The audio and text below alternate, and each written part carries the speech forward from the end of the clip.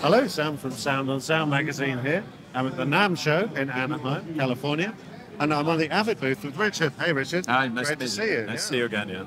And um, you actually have launched a new product of the show, which is uh, a, a new version of the MTRX or Matrix. Yes, we actually we've got two new products in the Matrix family. So um, we're actually the next generation of Matrix, uh, which is our Matrix 2. We're launching it at the show. So it's basically got more I/O. It's uh, more scalable. So essentially, it comes standard with 256 channels of Dante. It comes with the SPQ room calibration built into the baseboard of the unit. Um, and of course, it uses the same option cards as Matrix 1. So, you know, same analog I.O., Dante, Digilink. Um, but one of the other things, it's got a larger monitor matrix built into it. So it's now 512 by 64. So the 64 outputs allow you to do a full Atmos theatrical monitor environment. Um, so, uh, you know, it's next generation product. And, and then there's an additional card which is available for both Matrix 2 and our Matrix Studio interfaces, which is a Thunderbolt 3 card.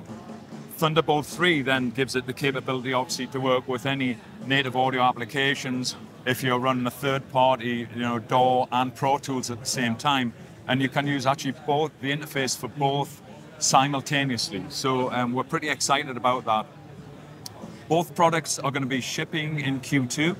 Um, and we're you know excited to you know continue to build upon the capabilities of this interface because it's you know it's very scalable and with you know more and more work going into immersive workflows it just brings cap- greater capability for you know post production um, the larger post facilities and also scalability for music facilities too Well, it's interesting what you were saying about theatre shows, that Yeah. um, possibly an application that you wouldn't think of as for audio interfaces. Yeah. you- So you know, it, it's when I say theatrical, it's it's so it, it means actually it's cinema, right? Yeah. But it, you know, Dolby classifies obviously cinema environment as a theatrical Atmos versus home Atmos and Atmos for TV. So, um, you know, the largest Atmos configurations will support up to 64 monitor, you know, channels. So. Um, the Matrix 1 had a, a, a 32 output uh, monitor matrix, and obviously with Matrix 2, in the larger, you know, post environments, it needs to scale up for the, you know, obviously the bigger Atmos installations. So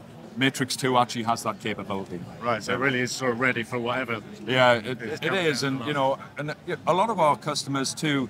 You know, obviously they're Pro Tools customers, but they will tend to use, you know, maybe some other applications if they compose in one app and then maybe mix in Pro Tools. So, and just having the ability to be able to take your matrix and use it, you know, with a laptop, you know, so that now you can take a Matrix Studio if you need to record or you need to work some facility um, and just use the Thunderbolt connectivity as opposed to, you know, the Digilink with an HDX card. Yeah. Yeah. And how soon is this going to be available? Uh, they'll be available, they're shipping in Q2. Um, so pretty quickly. Yeah. Excellent. And Yeah. no supply issues. Uh, well, you know, we're in the we're in a bit of a still a supply chain crunch. You know, the the market still hasn't returned to obviously the pre-pandemic level, uh, levels.